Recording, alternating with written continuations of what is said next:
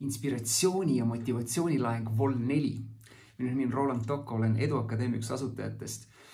üks küsimus, eh, mida meie kriisiküsitlusel inimesed küsisid, oli see, et kuidas toetada ja tuju üleval hoida sind ümbritsevatel inimestel. väga hea küsimus. Ehm, selle osas on üks asi, mida, mida silmas pidada. Ehm, sinul tuleb võtta liidri roll sinul tuleb võtta see roll, kus sa ühelt poolt sa näed seda, mis tänases olukorras toimub, kus me oleme ja, ja vaatad seda nii, nagu see on.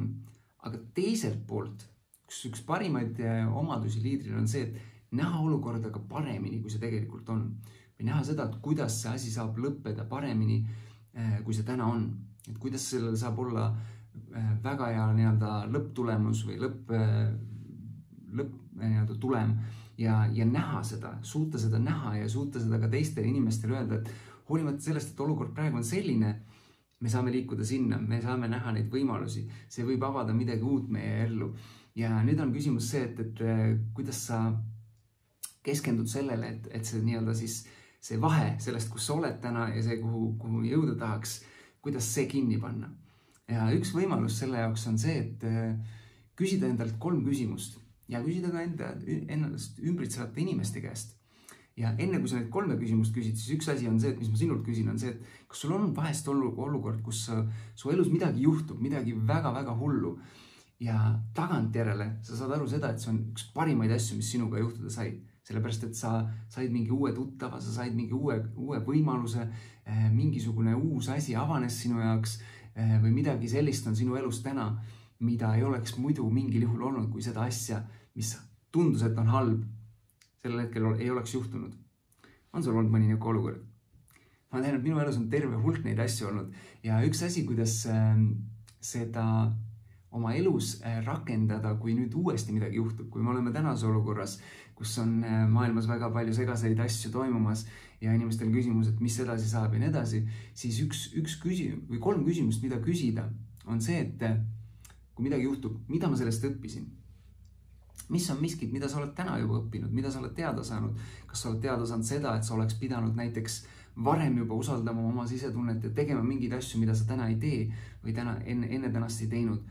või on, äh, oleks pidanud omandama mingeid asju, mida sa tead, et sa oleks pidanud omandama. ehk mis on need õppetunnid, mis sa said. teiseks see, et mis on selles head, mis on kõiges selles head. Vaata seda, äkki on selles juba praegu hea see, et, et võib-olla sa oled lähedasem osade inimestega tänu sellele, mis täna on toimumas, kui kunagi varem. võib-olla on siin midagi muud. sa oled võib-olla hakanud rohkem eh, mõtlema sellele, et, et kuidas veel oma elus midagi paremaks muuta. Eh, ja kolmas asi on, kuidas see on, mulle kasulik ehk et mis on sellest asjast kõigest sulle kasu, kuidas see sinu jaoks kasulik on tuleviku perspektiivis annab sulle äkki aega, et äh, iseendaga tegeleda, lugeda raamatuid, omandada mõni uus oskus või mis iganes muu. et äh, üks asi on see, et vaadata seda enda puhul, aga samamoodi ka ennast ümbritsevate inimestega. kui sa neile tood esiteks selle, et, et sa jagad mõningaid kogemusi sellest, et kuidas mõni negatiivne või halb olukord sinu jaoks on tegelikult lõppkokkuvõttes positiivne, positiivseks muutunud ja lased neil ka endal mõelda seda, et nad mõtleks oma elus olukordi, kus on midagi on justkui väga halvasti läinud, aga lõppkokkuvõttes on see üks parimaid asju, mis nendega on juhtunud. ja, ja teine pool on see, et tänases olukorras küsida neid kolme küsimust, mida nemad on õppinud, mida, mida nemad näevad, et kuidas see, mis on selles head ja kuidas see saab neile kasulik olla.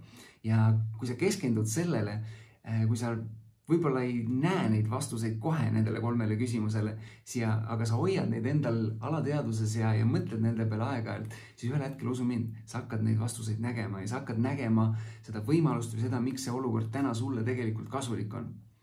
kui see mõte või see video sind kõnetas ja sa tead kedagi, kes peaks seda kuulma, siis ole hea, jaga seda videot ja näeme juba järgmistes. tšau